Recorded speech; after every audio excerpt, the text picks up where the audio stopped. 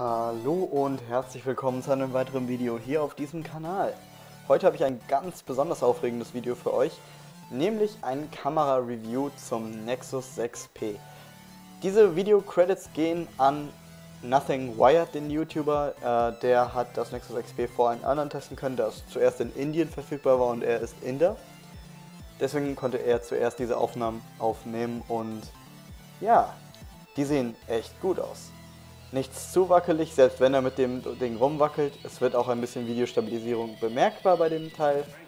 Die Exposure ist gut, also wie viel Licht hineingelassen wird, Farbkontrolle. Ja, sieht alles super aus. Weißabgleich ist nicht verrückt, sieht sehr natürlich aus. Farben sehen satt aus. Farben, die kn sind knallig, aber dennoch realistisch. Gefällt mir super gut. Und mit dem 12,3 Megapixel Sensor hat man, wie zum Beispiel im iPhone 6S oder im Galaxy S6 oder im Sony Xperia Z5 zum Beispiel, genug Auflösung, um in 4K aufzunehmen. Und das, was ihr vorhin gesehen habt, war 4K, runterskaliert in 720p, sieht exzellent aus, selbst runter auf HD-Auflösung runterskaliert, finde ich persönlich. Und nun blende ich erstmal ein paar Fotos ein, die damit geschossen werden, äh, geschossen wurden. Da gehen die äh, Fotocredits an Droid Life und ich muss da wieder sagen, das ist wieder fantastisch, was das Ding gemacht hat.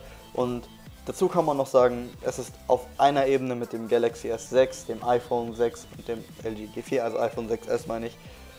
Und ja, definitiv einer der Top Dogs. Vor allem, hier, wenn ich das nochmal einblende, eine Lowlight Sample, sieht man, wie gut diese großen Pixel sind. Natürlich hätte man auch noch optische Bildstabilisierung einfügen können und bessere Resultate kriegen können, aber ich finde diese Resultate sind echt extrem, extrem gut. Wie macht Google das?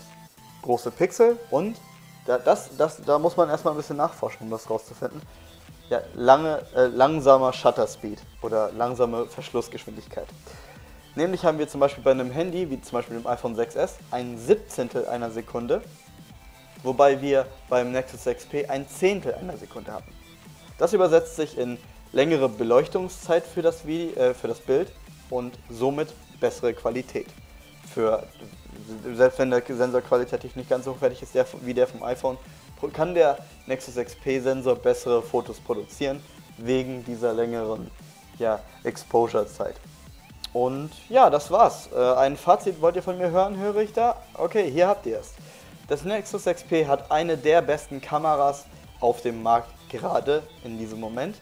Obwohl ich beim 4K-Videoaufnahmen eher zum Galaxy S6 greifen würde oder zum LG G4, da die einen höher auflösenderen Sensor haben und das wirklich leicht bemerkbar ist.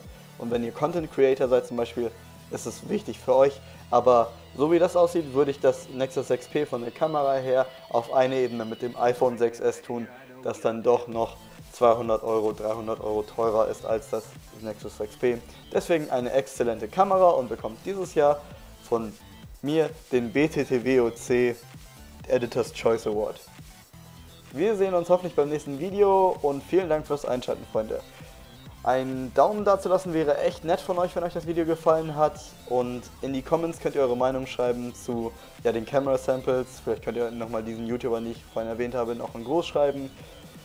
Und ja, abonnieren ist gratis, by the way. Tschüss, Freunde.